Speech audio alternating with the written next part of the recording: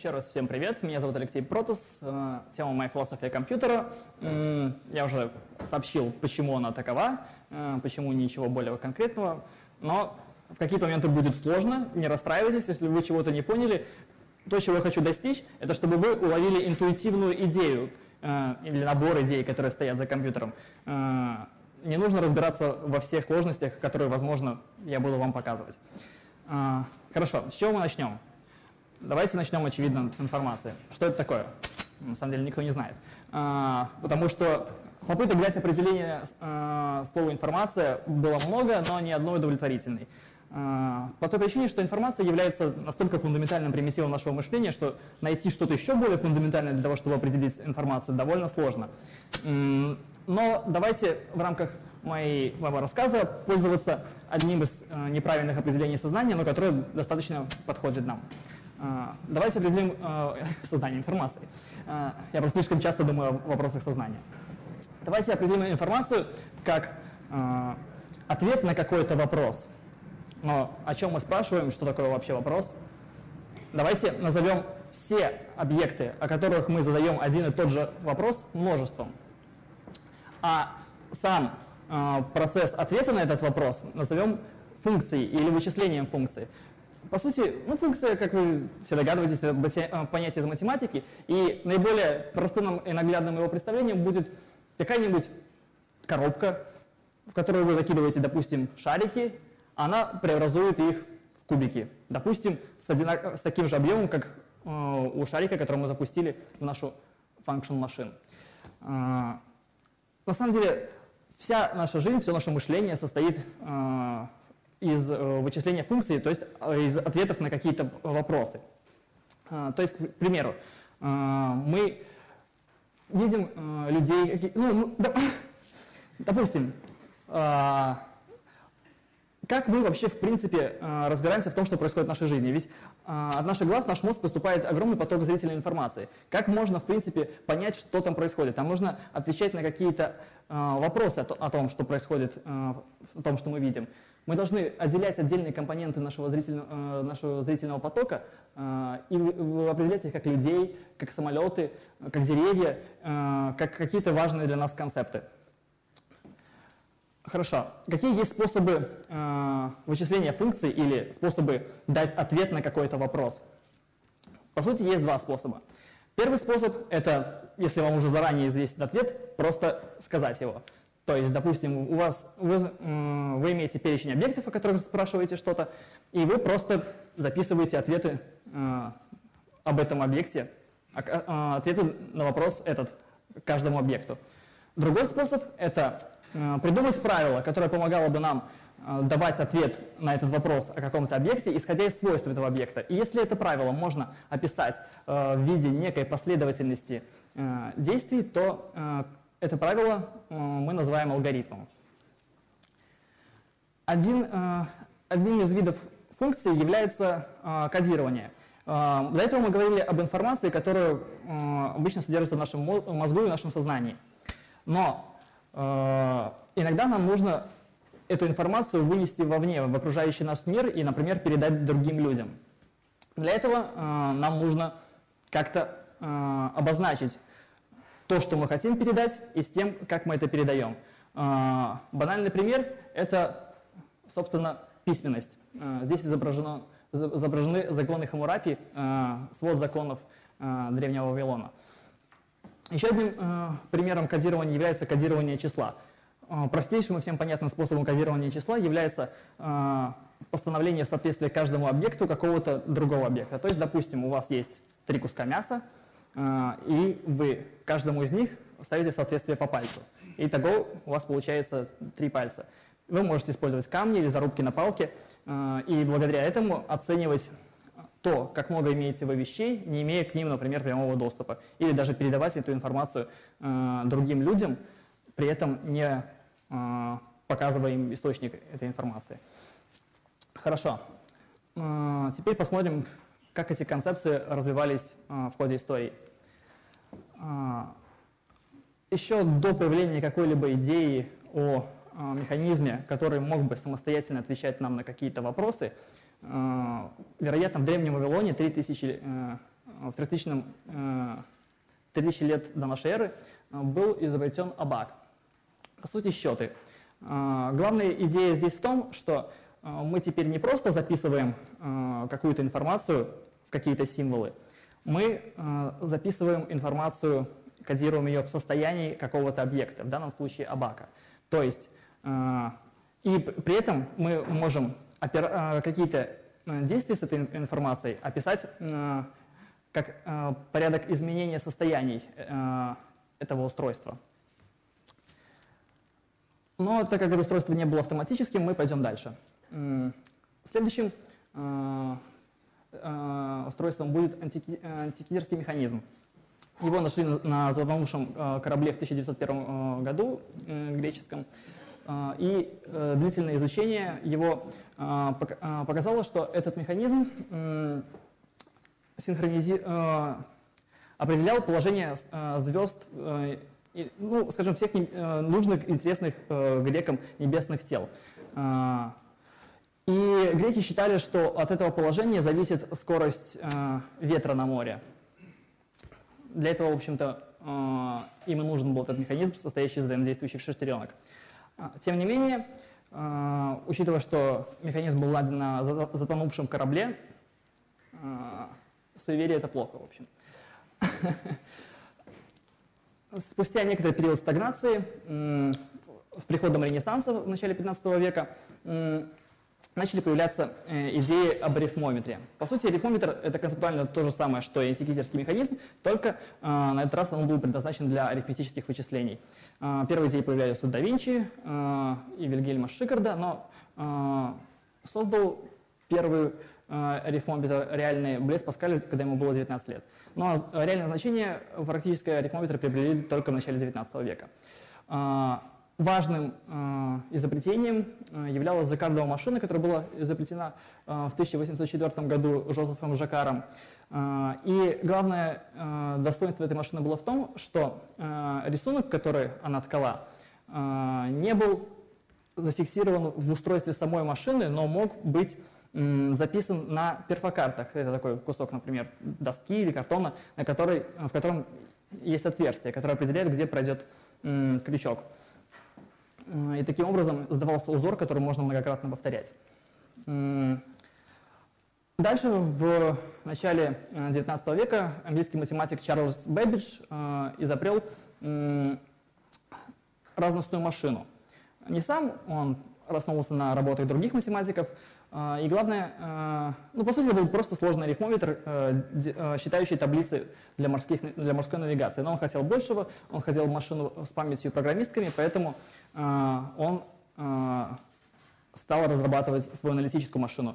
Алгоритмы, которые она вычисляла бы, можно было менять задавая последовательность действий, которые будет выполнять его машина, например, на перфокартах.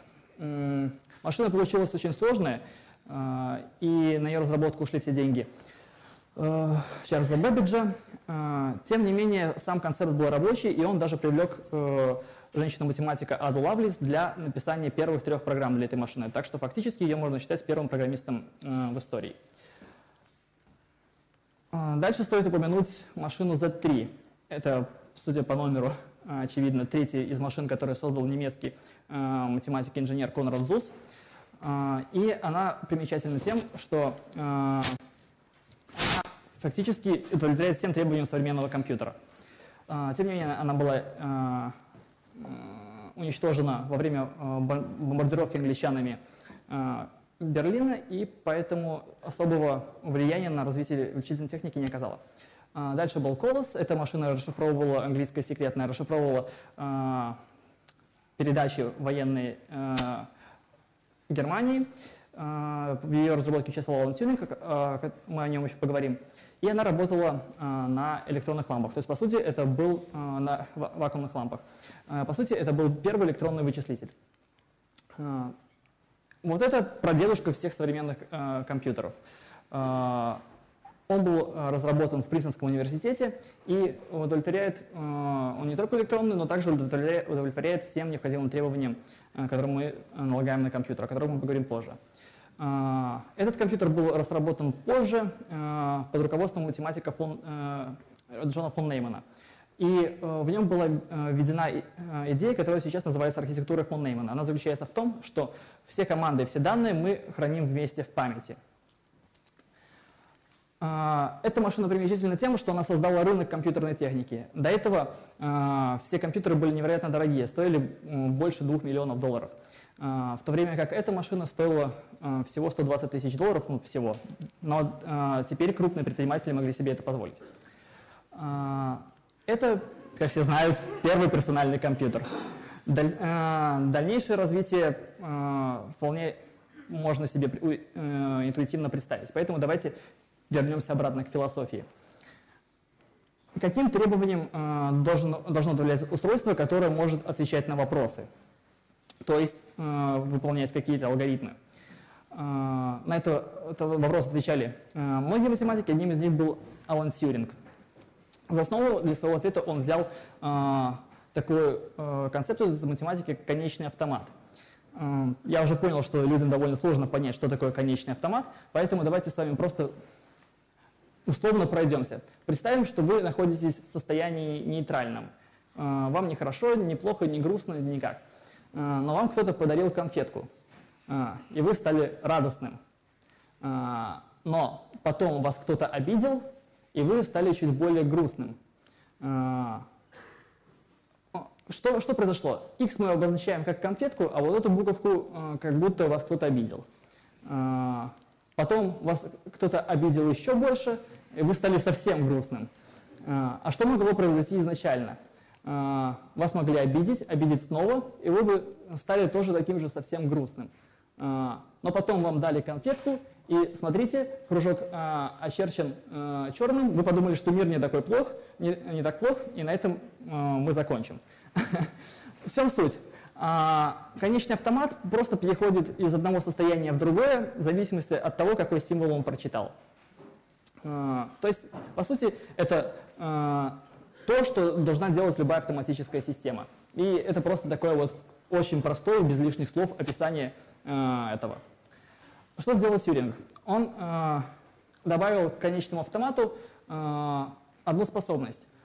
Автомат теперь может не только читать какие-то символы, но и писать их обратно. Давайте представим это в виде бесконечной ленты, на которой записаны какие-то символы. И э, машина Тьюринга просто э, двигается по этой, по этой ленте, читает что-то, э, меняет свое состояние и записывает что-то обратно.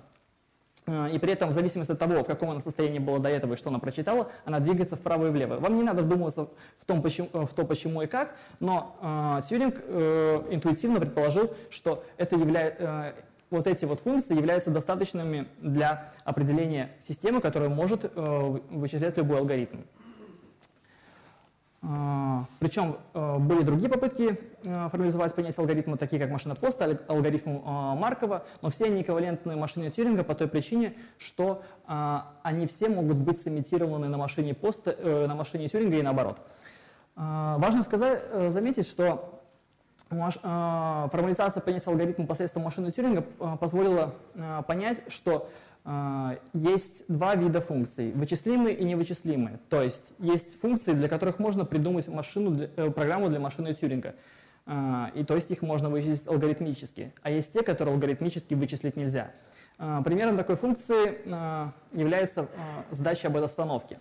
Алан Тьюринг доказал теорему о том, что если машине Тьюринга дать чертеж другой машины Тьюринга и какие-то ее входные данные, в общем случае она не сможет ответить, остановится ли эта машина Э, при выполнении э, своей программы или нет. Об этом мы поговорим позже. Э, дальше стоит сказать о, такой вещи, как виртуальная машина. Прежде чем мы перейдем к реальной машине, подумаем, чем вообще в принципе должна являться машина. Машина – компьютер.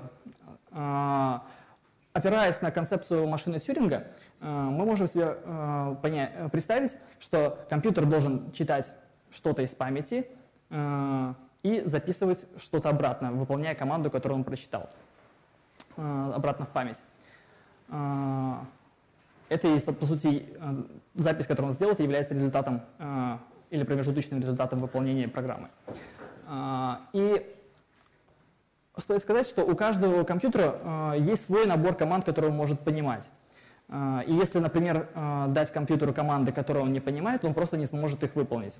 Но, тем не менее, если написать на языке, который он понимает, специальную программу, которая будет каждому слову из команд другой, другой машины ставить соответствие с командой, которую он понимает, то тогда этот компьютер сможет выполнить программу для другого компьютера. Способов это сделать есть два. Первый называется компиляцией, э, другой интерпретацией. При компиляции мы имеем весь текст программы, и мы просто переводим его в язык, который мы понимаем. А при интерпретации мы выполняем ее по мере чтения. Прочитали команду, выполнили. Ну, можете это представить себе, как вот если бы вы работали в китайской компании, и вам прислали э, какие-то задания на китайском. Если вам прислали все, что вам нужно, например, сделать за месяц, вы можете э, просто вставить присланный вам текст переводчик, и вы будете знать, что делать. Но вам могут присылать команду за командой по-китайски, вам придется сначала ее перевести, потом выполнить, а потом ожидать следующий. Э, хорошо, двоичный код. Все, э, думаю, слышали, что вот компьютер считает какие-то единички и нолики. Э, обязательно ли это так? На самом деле нет. Э, алфавит так это называется, у компьютера может быть любым. А, он может понимать а, любое количество различных состояний, различных символов. Но почему в итоге а, все инженеры пришли к двоичному, к двоичной логике, несмотря на то, что троичная с точки зрения некоторых математических вычислений является более эффективной? По двум причинам. Во-первых, она надежна. Одна из причин, почему Чарльзу Бэббиджу не удалось э, создать свою аналитическую машину, заключается в том, что э, он использовал десятичную разрядность и использовал шестерни. Э, Причем этим шестерням не была нужна такая точность, которую, в принципе, нельзя было, которой нельзя было добиться с уровнем технологий того времени. По сути, эта машина была просто ненадежной и постоянно ломалась. А второе преимущество двоичной логики заключается в том, что она простая – с помощью двоичной логики мы любой вопрос можем э, э, разделить на маленькие подвопросы, э, на которые можно ответить всего двумя словами, либо да, либо нет. Хорошо. Теперь давайте отвлечемся от философии и подойдем к реальности. Как выглядит современный компьютер? Ну, на самом деле все, что здесь изображено, изображено находится на плате, которое называется материнской. А, тут ничего, скорее всего, вам не видно из того, что написано, поэтому даже не пытайтесь прочитать, я просто буду э, говорить, что здесь происходит. А, основным компонентом э, компьютера является ЦПУ, центральный э, процессор, ну или центральное процессорное устройство. Оно обрабатывает все команды. Откуда он берет команды? Из памяти, которую ему пересылает специальный маленький компьютер, который здесь называется северным мостом. Ну, не забивайте себе этим голову. А, Причем все компоненты соединены такими штуками, которые называются шины. Шины — это на самом деле просто набор параллельных проводников, э, каждый из которых одновременно придает какой-то сигнал, либо единицу, либо ноль. То есть либо ток есть, либо его нет. Вот. Э, так э, компьютер соединяется с устройствами ввода-вывода, вроде клавиатуры, мыши и так далее. USB-порты, или, например, здесь он подсоединяется к графическому адаптеру. В общем, все строится на соединении различных устройств шинами. Хорошо, идем дальше. Точно так же, как ученые изучают э, реальность нашу окружающую, деля ее э, на отдельные абстракции и формируя отдельные науки, то есть, допустим, э, физика изучает один уровень абстракции, химия изучает другой уровень, который формируется из абстракции, которую изучает физика. То есть физика изучает молекулы какие-нибудь, а молекулы формируются из того, что изучает физика, из частиц, атомов и так далее. А, биология изучает систему, которая а, уже состоит из большого количества а, химических систем. Точно так же мы можем изучать компьютер, деля его на отдельные какие-то уровни, каждый из которых достаточно прост, чтобы его понять, вместо того, чтобы пытаться разобраться во всем этом месиве разом. Принято выделять несколько уровней, и самый нижний, которого тут нету, называется физическим уровнем, уровнем физических устройств. На нем э, происходит вот именно э, сама суть работы компьютера э, с точки зрения законов физики. Следующим уровнем является цифрологический уровень. Он определяет э, какие-то самые базовые примитивы логики компьютера. А, следующий уровень – это уровень микроархитектуры. А, здесь определяется то, как компьютер будет выполнять команды. А, потом идет уровень архитектуры команд. Здесь определяется то, какие команды компьютер сможет выполнять и как они устроены. Дальше идет уровень операционной системы. По сути, операционная система – это уже программа. Ее главная задача – это управлять устройствами, которые присоединены к компьютеру, и обосредовать запросы других программ к этим устройствам для защиты компьютера и для облегчения работы программистов, которые пишут эти программы. После него идет уровень ассемблера. Ассемблер — это такой э, код для некой машины ассемблера, который может понимать человек, но тем не менее он еще все еще достаточно близок к машинному коду. То есть в нем каждая строка, эквивалент, условно говоря, эквивалентна какой-то команде, которая понимает компьютер. Мы поговорим об этом тоже позже. А, и уровень э, языка прикладных программ. А, этот, на этом уровне работает большинство программистов. А, и он наиболее удобен и прост в понимании для начала. Сначала быстро пробежимся про уровни физических устройств. Главным компонентом компьютера является транзистор. Представьте его себе как кран, который включает и выключает воду. Если он выключен, то вода не течет, в данном случае ток. А, а если он открыт, то а, вода протекает. Причем этот кран открывается подачей напряжения вот на а, этот контакт, который называется затвором. Вот так вот, собственно, он выглядит, этот контакт. Не видны из-за перегруженности изображения. Ладно. Дальше несколько транзисторов объединяются в вентили. Вентили нужны для того, чтобы отвечать на вопросы о сигналах, которые мы передаем. То есть кто-то говорит «да» или «нет», а, а мы знаем, как ответить дальше на то, что нам сказали. Представьте себе, что здесь течет вода. И вот наш переключатель транзистор. Если он выключен, то есть здесь нулевое напряжение, вода завернет и пойдет сюда. То есть мы передадим сигнал 1. Но если мы откроем этот вентиль, вода вся вытечет отсюда и не потечет сюда. Тогда мы передадим сигнал 0. Это вот графически изображено э, на этом рисунке. То есть если э, здесь э, передается 0, то в итоге на выходе пойдет дальше единица.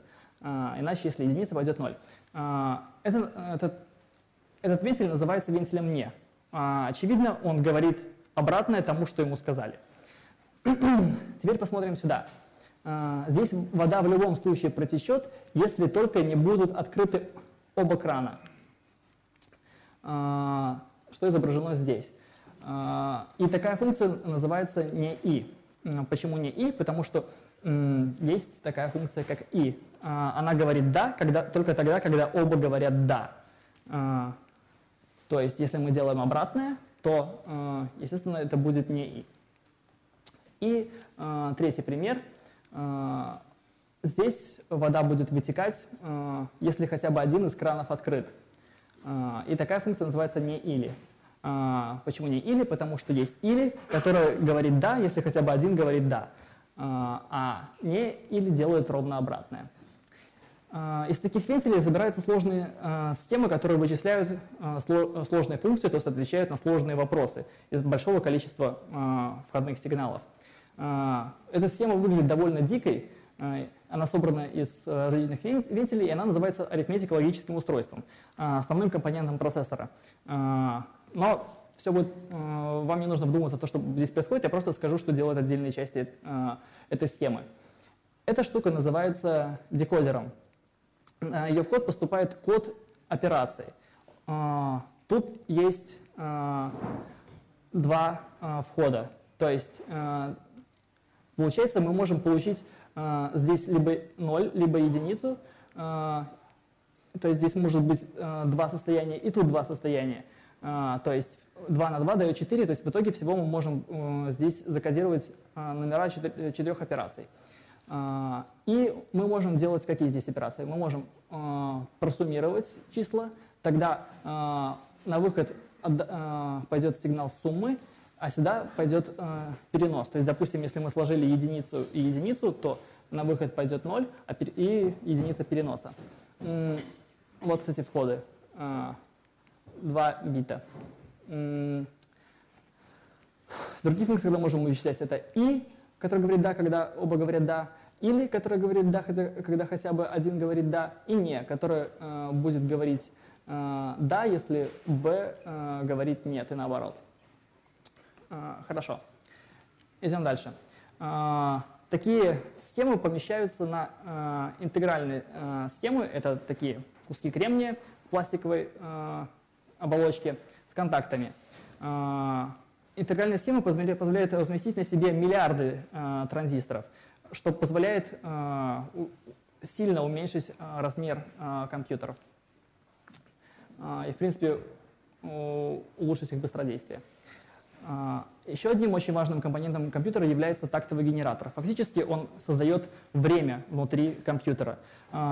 Тактовый генератор с определенной частотой генерирует сигнал. И все операции, которые выполняются в компьютере, синхронизируются с этим сигналом. Э, в простейшем случае вы можете себе представить, что э, каждая операция выполняется за один такт, хотя на самом деле это происходит не всегда, но все происходит близко к тому. Э, хорошо.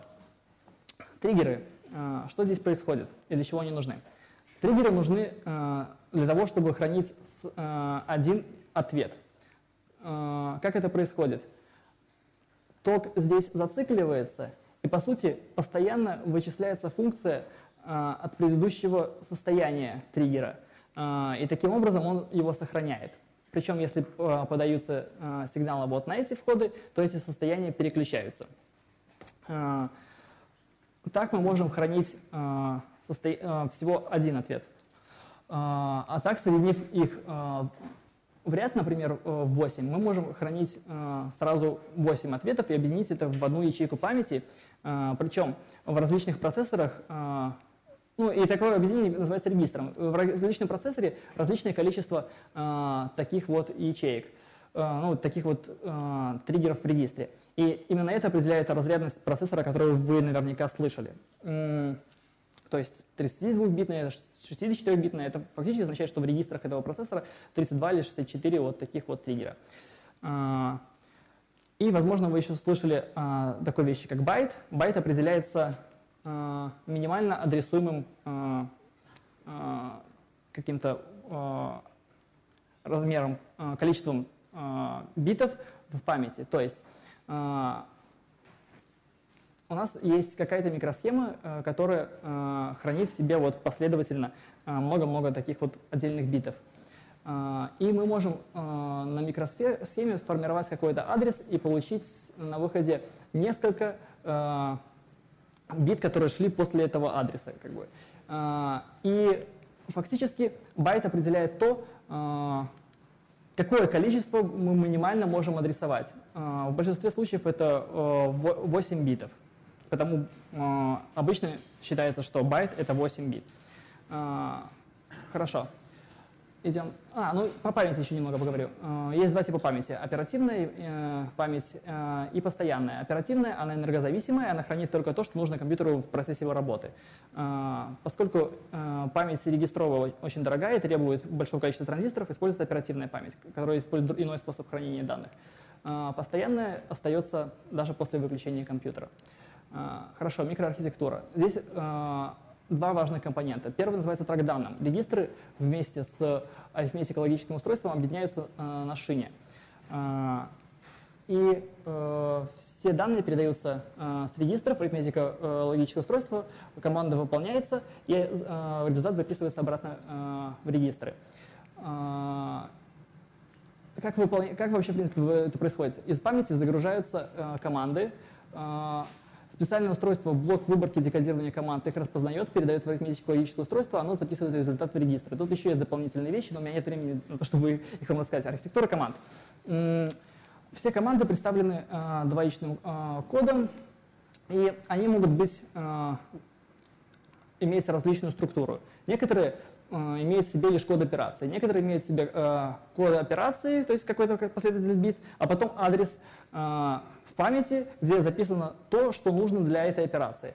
А, есть операции, которые а, используют а, какие-то значения по двум адресам, например, для сложения двух чисел из памяти, или по трем. Хорошо. Уровень ассемблера. Тот код, о котором я говорил. Здесь каждая строка соответствует какой-то команде. Что делает эта команда? Команда mov помещает что, куда? В регистр EC какое-то значение. Это 16-ричный код. Он такой же, как, например, десятичное число, к которому вам привыкли, только к 9 обычным цифрам добавлены еще 6. Э, так как у нас нет каких-то дополнительных цифр, мы используем буквы от A до F. Хорошо. Каждому такой цифре а, соответствует 4 э, бита, поэтому это удобный способ хранения бинарных чисел. А, дальше языки высокого уровня. А, они, в общем, позволяют программистам не писать сложный ассемблерный код, а использовать какие-то более сложные абстракции. Ну, это различные языки, о которых вы, возможно, слышали. Хорошо, дальше. Быстрый, быстрый пример, как все это происходит. Вот программа на языке высокого уровня. А, вот эта строчка означает, что мы а, будем использовать код другой программы. А, это структурная часть языка C, называется функция. То есть эта штука э, тоже отвечает на какой-то вопрос. Это первый вопрос, который задается в нашей программе.